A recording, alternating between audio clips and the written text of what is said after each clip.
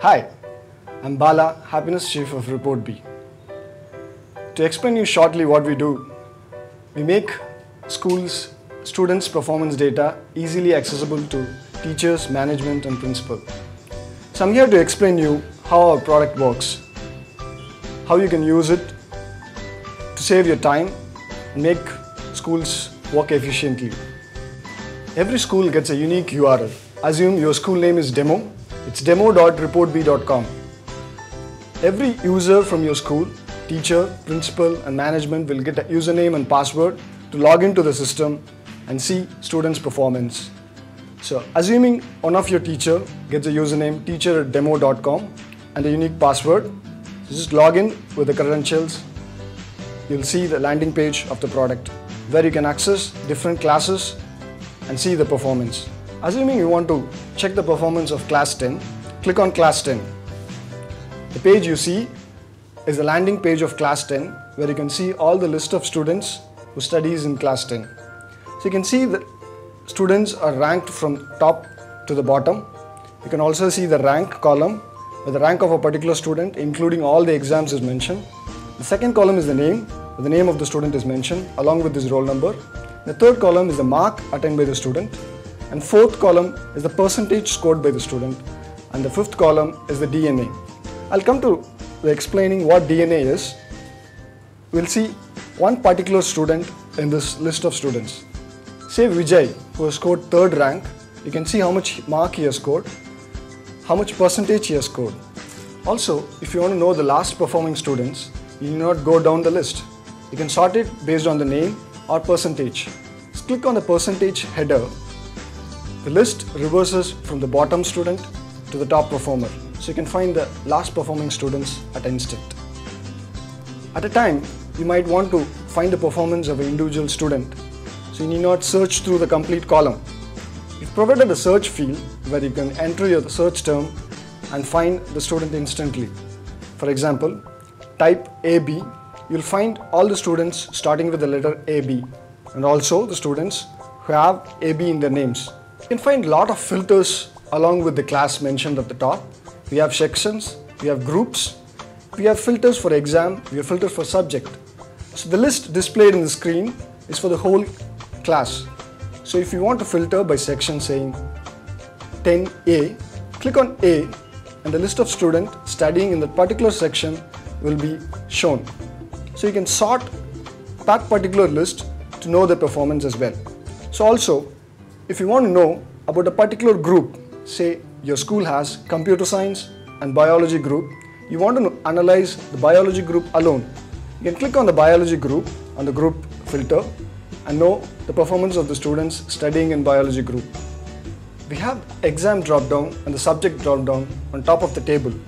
So you can use those drop downs to filter the content based on what you want to analyze. For example, if you want to know the performance of the student in FA1 exam, you can click on the exam drop down and choose FA1. So the list of students displayed here are the, are the ones who attended FA1. And the marks are for FA1. So if you want to analyze for a particular subject, say mathematics, just click on the subject drop down and choose mathematics. So you will know which student has scored top mark in mathematics, how much he has scored, how much percentage he has attained. We call the last column of the table academic DNA because it looked like an academic DNA strand. It's where you can see all the data points starting from the right hand side and bottom of the table it moves towards the left hand side and the middle it has a spread across the width. So what this signifies means we have marked all the subjects with a symbol, for example, English being EN, Math being MA, along the bar. So if a particular student has scored the highest mark in an exam, he'll be marked on the right hand side. For example, in English, a particular student has scored the highest mark, EN will be marked at the right hand side. If a particular student has scored the lowest mark, he'll be marked on the left hand side. So you can see there is a lot of symbols crumbled up at one area. That's none of our concern because what we are looking at in this academic strand is the outliers. With this academic strand, you can find in which subject a particular student is not doing good relatively. You can see out of the top three students, some of the students have scored low in some of the exams, where most of the subjects have been scored in the highest. Similarly, for a bottom performer, you can find in which subject is doing good relatively.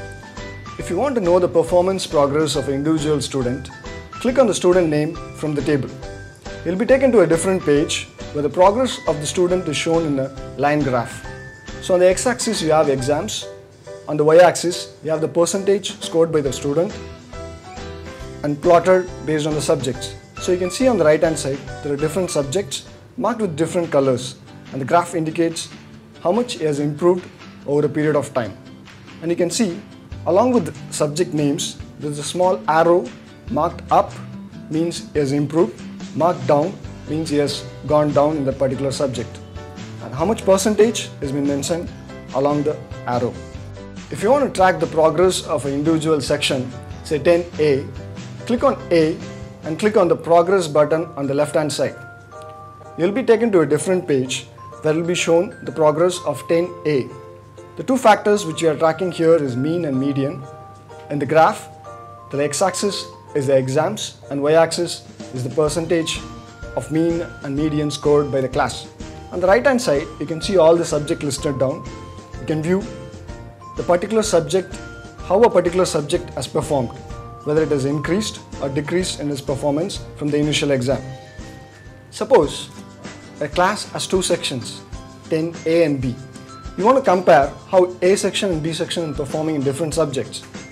For that, you have a section comparison link on your left hand side. Click on it. You will be taken to a page where again a line graph is shown with different sections are plotted in the graph. Again, you have on x-axis exams and on y-axis the performance of the particular section. On your right hand side, you can see different sections marked in different color. The graph you see is section comparison of a particular subject. If you want to compare a different subject, say mathematics, choose mathematics from the drop down on the top of the graph. After choosing mathematics, you will see the graph changes for mathematics. So if you want to know the individual value of a particular exam, just roll over on the dot. You'll be shown the values scored by the particular class in that exam.